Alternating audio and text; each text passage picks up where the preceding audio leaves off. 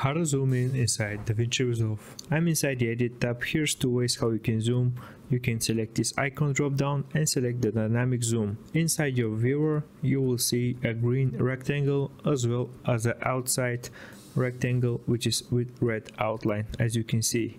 And what is now happening is that when I play it through it's going to go out from the green one expanding until it reaches the red one.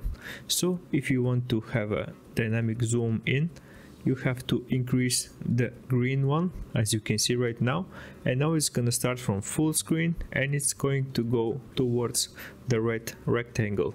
And if you want to zoom out you have to do the opposite. But first let's preview this one so now it's going from the green one until it reaches the rectangle which is with red outline Second way of adding zooms is going into the inspector. Before setting up any values, you want to highlight your media footage and then you can select the top diamond which is located here and now you can go further in the timeline and then you can go back in the inspector and adjust the values of zoom, position, angle and other settings in there which will determine the position of the camera, making it zooming in and out by adjusting just the zoom XY position.